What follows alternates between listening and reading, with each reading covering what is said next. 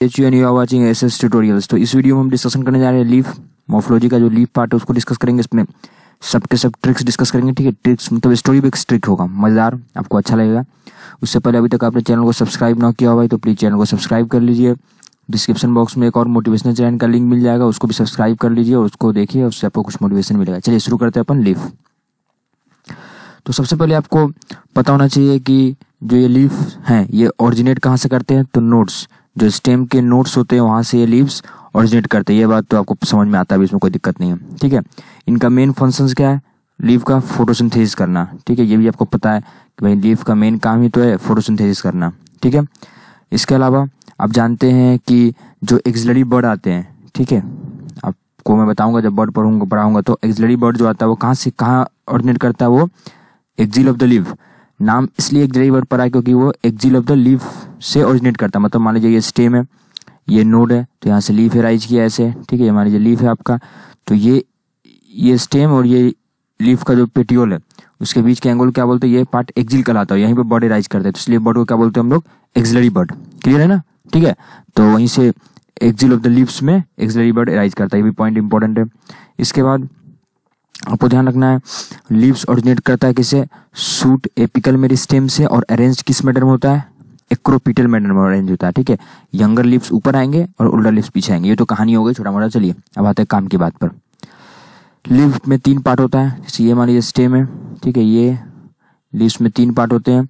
जिस पार्ट से स्टेम से अटैच होता है, वो पार्ट क्या कहलाता है? लीव बेस ठीक है? जो पार्ट ये है, यहाँ से यहाँ तक जिसको स्टॉक भी बोलते हैं, और पेटियोल बोलेंगे इसको। और ये जो लीफ है इसको क्या बोलेंगे हम लोग? लेमिना ठीक है तो लीफ को तीन पार्ट में बांट दिया हमने। Lamina petiole as well as leaf base अब आते हैं लीव बेस के कुछ मॉडिफिकेशन जो पढ़ने आपको एनसीईआरटी में दिए हैं। ठीक है लीव बेस के मॉडिफिकेशन पढ़ने हैं। लीव बेस के दो मॉडिफिकेशन है। ठीक है जो अपन को अपन, अपन को पढ़ने हैं। पहला है सीथिंग लिप बेस ठीक है और दूसरा आपका pulvinus leaf base sheathing means क्या होता है? कवरिंग कोई चीज़ ऐसा जो कवर कर ले। तो देखिए, इस केस में क्या होता है? जो लीव बेस होता है, वो क्या करता है? ऐसे लीव बेस क्या करेगा? कुछ पार्ट ऑफ़ स्टेम को कवर कर लेगा इस तरह। ठीक है? ये वाला पार्ट क्या हो गया? स्टेम कवर हो गया। लीव बेस से।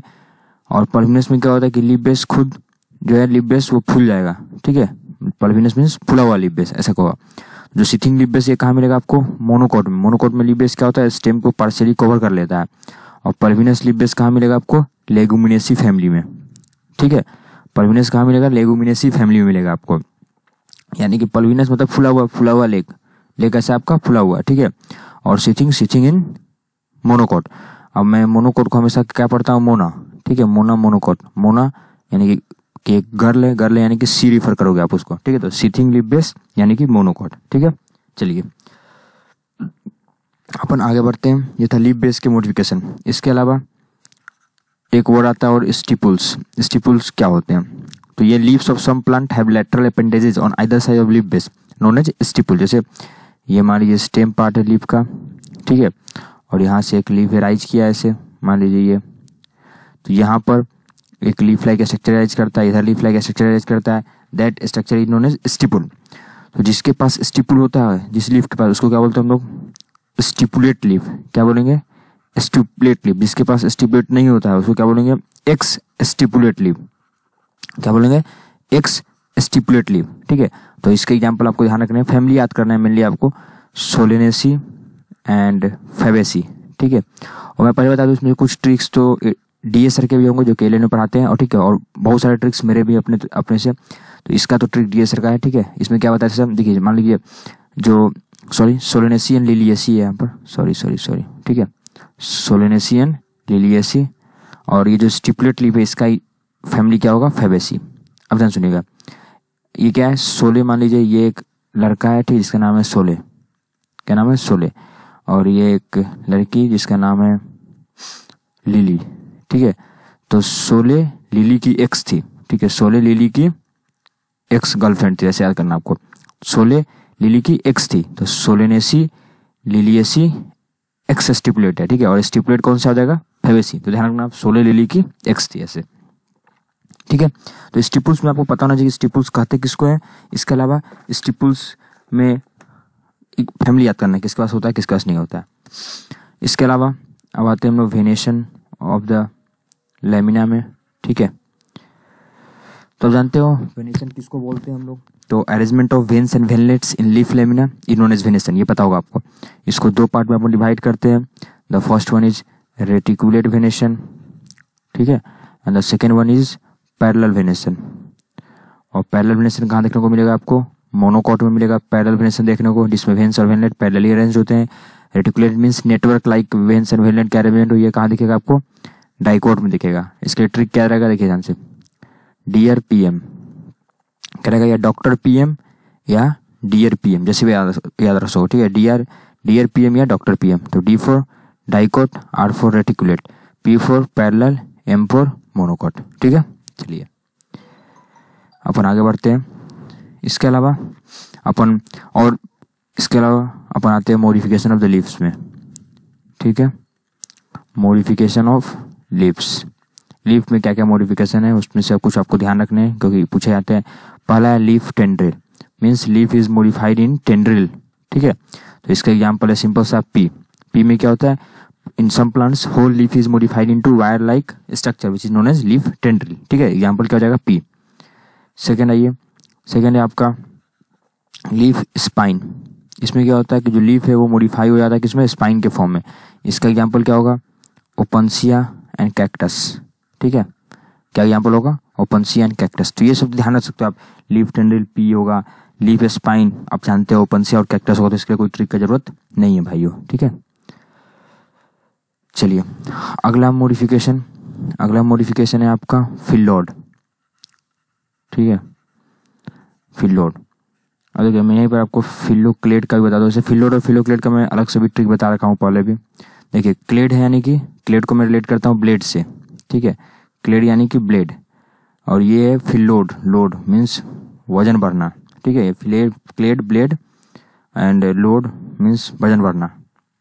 अब देखिए ध्यान से। आपको ऑप्शन दिया जाए कि भाई स्टेम है आपके पास और लीफ है मतलब पेटियोल है लीफ का। ठीक है लीफ पेटियोल है आपको इन दोनों को काटना है तो आपको ब्लेड का ज़रूरत कहाँ पड़ेगा? तो आप सिंपल से आंसर दोगे भैया कि ब्लेड का यूज़ तो मुझे स्टेम काटने में पड़ेगा। ठीक है ब्लेड का मुझे यूज़ लीफ पेटियोल काटने में नहीं पड़ेगा, क्योंकि लीफ पेटियोल खुद पर खुद हम हाथ से तोड़ सकते हैं, वो कमज़ोर होता है। ठीक है?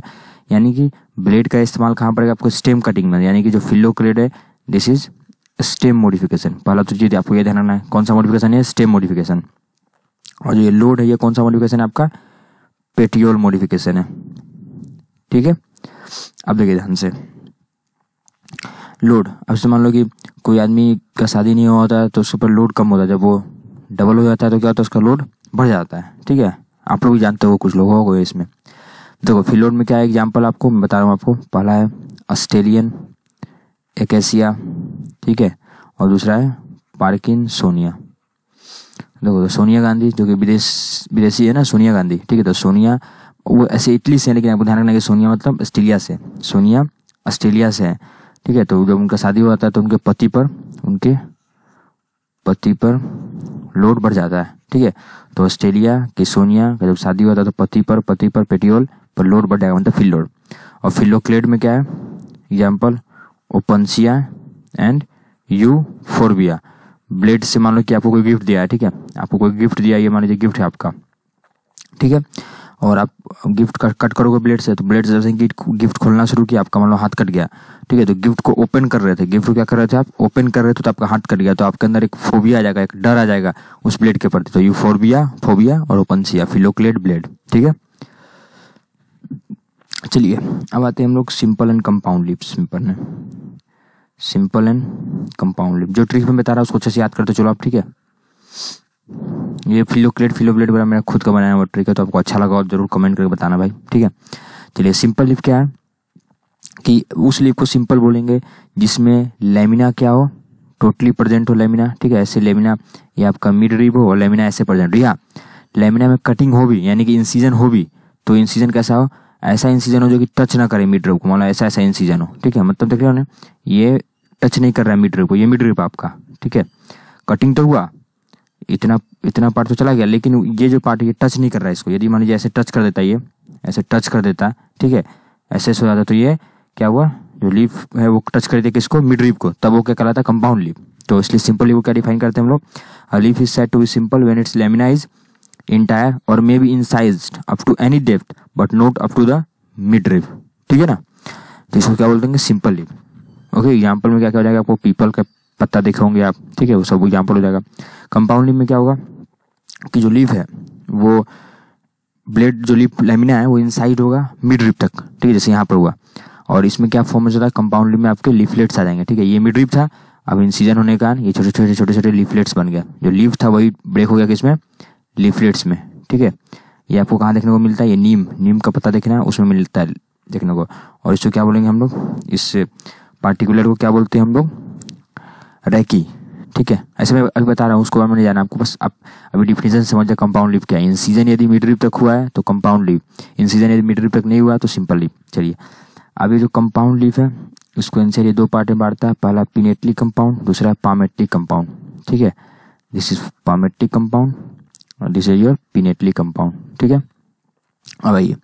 पिनेटली कंपाउंड में क्या बोलता है कि जो मिड रिप है वो कन्वर्ट हो जाता है रैकी में और उसके अराउंड लिप्स ऐसे प्रेजेंट होता है। तो जैसे एग्ज़ाम्पल ऑफ़ पिनेटली कंपाउंड जो आपको नीम में मिलता है। नीम के लिप्स को हो तो वहाँ मिलेगा आपको। पामेटली में क्या है? बोला कि नहीं, ऐसा नहीं, जो मिडरी वो तो रैकी रैकी नहीं फॉर्म करेगा। मिडरी रैकी फॉर्म नहीं करेगा। एक कॉमन पॉइंट होगा जिससे के अराउंड ढेर सारे लिप्स आ जाएँगे। ठीक है? ध्यान रखा ना कोई इसमें रैकी का फॉर्मेशन नहीं होगा। ध्यान ना पामेटली में क्या होता है? रैकी अपसेंट है। इसमें रैकी मतलब जो कॉमन एक्सिस के राउंड लीव्स हैं तो कॉमन एक्सिस तो है ही नहीं, क्योंकि यहाँ पर तो एक्सिस के राउंड लीव्स है नहीं तो उसको रैकी नहीं बोलेंगे। जबकि ये क्या कहलाएगा? रैकी कहलाएगा। तो ध्यान रखना आप पिनेटली में रैकी प्रेजेंट होता है, जबकि पामेटली में रैकी क्या होगा? अपसेंट होगा। ध्यान रहेगा आपको? चलिए। अब, और इसका पामेटली का एक एग्ज़ाम्पल दिया NCR that is silk cotton ठीक है? जिसको बॉम्बेक्स भी बोलते हैं हम लोग। अब आते हैं हम लोग फिलोटैक्सी पर। मीन्स अरेंजमेंट ऑफ़ लिप्स कैसे होता है यहाँ पर? ठीक है, चलिए। तो इसमें पहला जो एग्ज़ाम्पल है फिलोटैक्सी का डिफिनेशन क्या है भाई? तो pattern of arrangement of leaves on stem और ब्रांच पहला एग्ज़ाम्पल है आपका अल्टरनेट फिलोटैक्सी ठीक है? दूसरा जो आपका एग्ज़ाम्पल है दैट इज़ अपोजिट फिलोटैक्सी ठीक है? और तीसरा जो एग्ज़ाम्पल है that is your whorled phyllotaxy ठीक है? आइए अल्टरनेट फिलोटैक्सी के बारे में डिस्कस करते हैं। तो अल्टरनेट में क्या होता है कि सिंगल लीप बेस राइज करता है इच नोट पर। देखिए, ऐसे मानिए ये आपका ऐसा है, ये नोड है, ठीक तो यहाँ से एक लीफ राइज किया, फिर ये वाला नोड से राइज किया, फिर ये वाला नोट से राइज किया, फिर ये वाला नोट से राइज किया, नहीं देख रहे अल्टरनेट मैनर में लीफ राइज कर रहा है ना तो इसको बोलेंगे अल्टरनेट फ्लो टैक्सी ठीक है? इसका एग्ज़ाम्पल क्या होगा? Mustard China rose and sunflower तो ये चाइना एक कंट्री है, ठीक है? चाइना एक कंट्री है जिसमें कि कल्चर है। उसमें क्या होता है कि मस्टर्ड का तेल लगाकर मस्टर्ड का तेल लगाकर हर टेन डे डे पर क्या करना होता है? सन बात करना होता है। ठीक है? चाइना एक कंट्री जहाँ क्या नियम है कि हर हर अल्टरनेट डे पर, हर अल्टरनेट डे पर आप क्या करोगे? मस्टर्ड का तेल लगाओगे और सन बात करोगे। देखो मस्टर्ड चाइना रोज चाइना से और सन बात से सनफ्लावर याद जाएगा। ठीक है? अपोजिट में क्या है कि एक पार्टिकुलर नोट से दो दो लिप्स निकल जाए ऐसे, दोनों एक दूसरे के अपोजिट में। ठीक है? तो इसको क्या बोलेंगे? अपोजिट फिलोटेक्सी इसमें कहाँ दिखेगा आपको? गोवावा में और कैलोट्रोपिस में। ठीक है? तो आप अपोजिट लोगों को क्या करते हो? कॉल करते हो। ठीक है? मतलब एक लड़का है तो वो किसको कॉल करता है जनरली लड़की को कॉल करता है, बात करने के लिए। तो आपको ध्यान रखना अपोजिट में कैलोट्रोपिस आएगा। कॉल होल्ड में ऑल्स्टोनिया है एग्ज़ाम्पल इसका। ठीक है? सिंपल सा है। मतलब एक पर्टिकुलर पॉइंट से ही लीव्स बहुत सारे राइज कर जाए this will example of whorled phyllotaxy जिसका एग्ज़ाम्पल क्या हो ऑल्स्टोनिया एंड नेरियम क्या क्या हो जाएगा? Alstonia and nerium nerium NCERT में दिया, लेकिन पूछ लेते कभी कभी ठीक है? तो ये थे पूरे लीव्स एनसीआरटी बेस्ड और कुछ पॉइंट्स एक्स्ट्रा थे जो मैंने बताया आपको, ठीक है? तो ये वीडियो अच्छा लगा हो तो लाइक बटन दबा दीजिए भाई, ठीक है? और कमेंट करके ज़रूर बताइए कि आपको इस वीडियो से हेल्प मिला कि नहीं मिला माफोलॉजी याद करने में, ठीक है? So thank you